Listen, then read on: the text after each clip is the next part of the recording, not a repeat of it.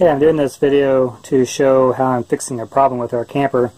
I looked um, all over the place and couldn't find a product or another video that does this. So this is a typical jackknife couch you see in most campers. Um, lift it up, pull it out, lays down into a bed. The problem on our design is there's really no support under here at all. There's just a, a little cover board that fits over that. They have other models that actually have shelves, or excuse me, drawers that pull out and give you a support all the way across. Then there's a bracket that will fit on the top and have a bar that slides out. But uh, in this case, that's not an option for us, and I could not find anything uh, on the market that would work. So, let me show you what I'm doing here. So underneath, this is a round tubing in here, and it's difficult to attach anything to because all the padding's around it.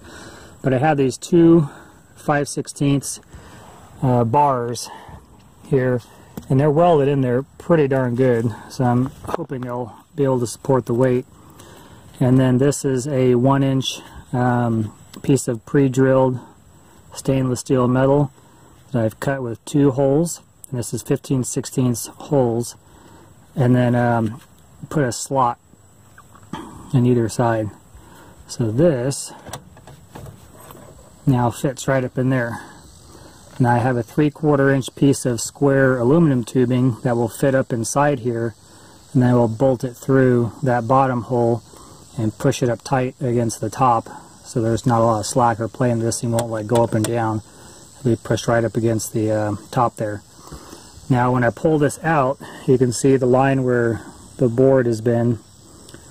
The bracket will actually be inside of that. So it's not going to get in the way of that board sitting out here and if I need to lift it up, these rotate and just lift it up out of the way. You know, either direction, these this will be able to lift up, you know, either direction if it needs to get out of the way to grab the uh, material or the supplies we have that's underneath the couch. And if need be, I can actually put two of these on, have one in the back, one in the front, and then I'll probably put some sort of wire around it to keep them from sliding this way. Um, that's it. So the aluminum rod I'm using, this just bought off the shelf at Home Depot. There's this aluminum rod. There's a piece I just cut. I was letting it cool down. But this will just slide into, I gotta get all the burrs out of here. This will slide onto there, up pretty far.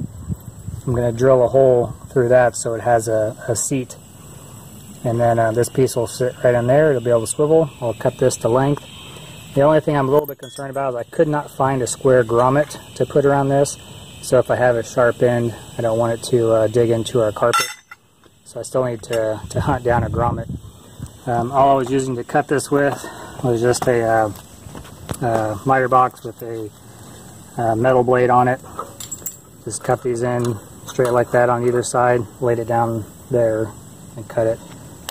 Cut off my piece, and that's it. Nice and easy. I'm going to have some extra pieces I may use uh, somewhere else. Altogether, this was about less than $30 um, for the parts. And then I'll uh, come on here in a little bit when I get one done and show you what it looks like. Okay, so here's my bracket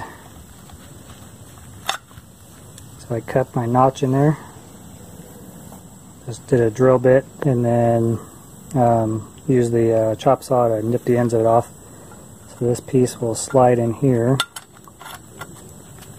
and it will fit tight around that bar. Got to drill a hole through the bottom one all the way through and there'll be a bolt that goes through that. So that's what I'm going to do next is drill my bolt hole and then I'll measure the length and um, cut this to size and then put it in. Okay, I got the first one done and installed and it looks like it works pretty good.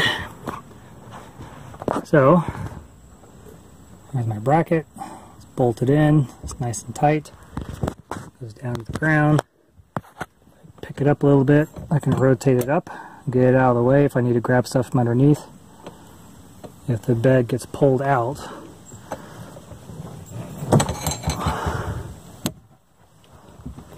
Still good.